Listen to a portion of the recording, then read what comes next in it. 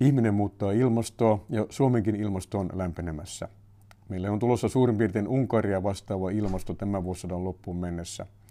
Tänne leviää eteläisiä, lämpimämpien alueiden lajeja, kuten vaikkapa misteli, joka on tällainen lehtipuiden oksaloinen, jota on tuolta Tukholman seudulta varmaankin rastaat jo levittäneet Lounais-Suomeen.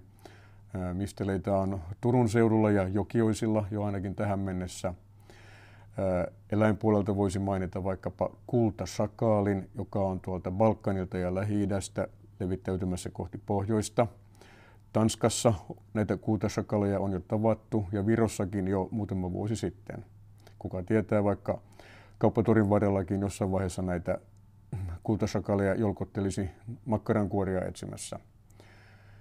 Itämeren, Itämeren tulee koko ajan laivojen ja kanavien kautta uusia lajeja.